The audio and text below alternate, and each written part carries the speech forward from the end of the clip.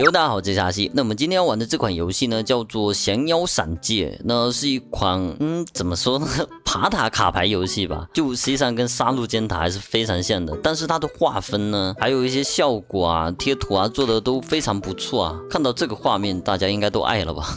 好，那我们今天就来玩一下这个阿紫吧。那阿紫的能力呢，它每个角色都不一样哦。阿紫呢是个驱虫师，就是召唤师了。那它可以召唤三只虫子，就有各种各样不同的。虫子，这是他的人物属性了，以及每个角色呢都有属于他的主动技能啊。像这个阿紫呢，就是投喂一只虫子，让它存在的时间更长一点。这些召唤物呢都是有存在时间的，过几个回合会没有掉，并且这里面每个角色玩法都不同，也跟杀戮尖塔也有点类似，但是不一样。像这个的话就得装子弹啊，装子弹它才能够使用它的牌。但是哦，所有游戏里面都有的一个角色呢，就是这个战士。我觉得所有游戏里面必然会有的一个角色，战士。呃。呃，它是有什么怒气值啊？怒气值上线呢，就能使用一些大招之类的，嗯，都还不错啦。我们今天要玩的这个阿紫呢，我们就玩召唤流吧。然后呢，就是这个怎么说？因为这种爬塔游戏流程会非常的长了，所以呢，我们就不录全部了吧。就等到我们把牌组集齐之后，我们来打一下 BOSS，给大家演示一下这个游戏的玩法。哦，对了，这边还有一点就是，那这里面呢是有测试功能诶，它是有什么猎妖大费啊？大费，就它可以匹配，哎，匹配上了。我可以跑吗？好像匹配系统等待其他玩家，算了吧，放弃放弃这个游戏吧。它有对战系统，我觉得这一点蛮好的。大家可以想想，杀戮尖塔，然后可以联机的话，可以对战，嗯，也是挺好玩的，对吧？好，那我们话不多说，开始游戏吧。好，我们来到了第三关的 BOSS，我不知道是不是最后一个，哎，一只很大的狼。那因为我这边呢是有一个道具，所以每个回合开始的时候呢，就会给我三张牌选择，并且是零费的。那我就选择这张吧，给一个召唤物增加灵力跟神力。神力呢就是提升召唤物的伤害，灵力呢就是召唤物持续的回合。那可以看到我这边初始就有一条手，也是这些道具给的。嗯，上面这一排的道具呢，类似于杀戮尖塔的那个遗物系统。然后这些丹药呢，也差不多是遗物吧，像什么战斗就会回血啊，那这个呢就是三张牌选一张的刚才那个，然后战斗胜利提升生命上限啊。召唤物直接获得一点神力啊，就是伤害更高，并且呢，我们每次受到伤害呢，敌人都会增加两成的中毒，以及呃，这个是不是给我们升级一张牌了？另外这上面这些会比较厉害一点哦，这是自带的驱虫师，我们可以召唤三个召唤物上线，但是我现在已经把它增加到五个了，就是人物下方这里这个小人呢是有五个，但是你召唤的多也没关系，就是说你只能保存五个，并且呢，我们每召唤一个召唤物的时候就会获得三点护甲，那这个呢就是我刚才提升的四个上限加了两个，还有一个非常厉害的死亡。契约这个真的是 有二十五次复活啊！只要你有召唤物，它就会帮你抵挡致命伤害。我现在还剩二十二次，已经用到了三次了。那并且呢，还有一些七七八八的召唤物，灵力加一啊，就召唤物生存时间更长一点了。那其他倒是没有什么的。那左边这里呢，就是一些丹药啊，然后这是我们的费用，现在是有五费，以及我们的抽牌堆。那这个游戏的抽牌堆它是不会，就是你牌抽完之后呢，它不会自动洗牌的哦，要你使用这张牌重整仪式，然后。重新洗牌才可以，要一张费用啊。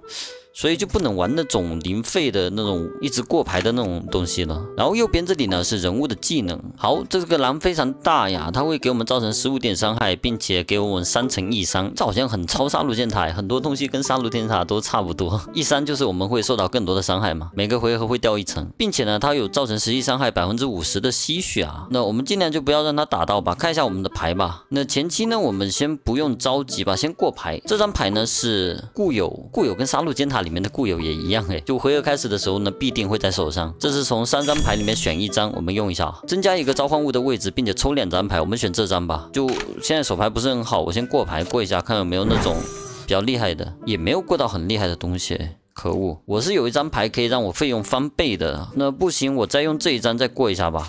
那这张牌呢是所有召唤物攻击力加二，晚一点用会更好了。但是我想先过牌了。再过一张看看吧。哎，闪避没用，可恶。那我们每召唤一个东西呢，都会增加三点护甲。不过生命值现在对我们来说没什么用。我们召唤一个蜈蚣，这个蜈蚣很厉害哦。每个回合呢都会积攒十二点伤害。等到它死完的时候呢，它就会把所有伤害爆发出来，造成 A O E 的伤害。那另外呢，我们也有这种让这些直接死掉的牌，就可以直接让它爆炸。好，那我们再召唤一条蛇吧。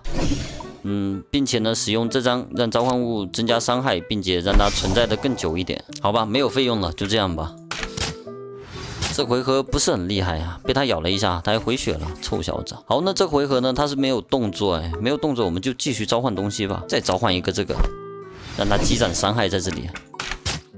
会用每个回合会清零的，你如果不用掉的话就会掉，并且每个回合只会回复两点费用。但是因为角色的不同，好像会不一样哦。那而且我们这边有非常多的道具，哎呀，我刚才应该第一个回合的时候使用一下道具的，像这种增加两点神力的，哦，这次给我自己加，哎，好家伙，我自己伤害提升了，但是我实际上自己都没有什么攻击的，没有伤害牌。来，那我们继续用一下这张牌吧，对敌人造成四点伤害三次。